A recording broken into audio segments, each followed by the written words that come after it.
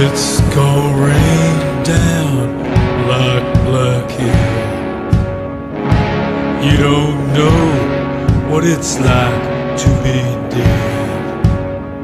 I'm gonna teach you now, teach you well.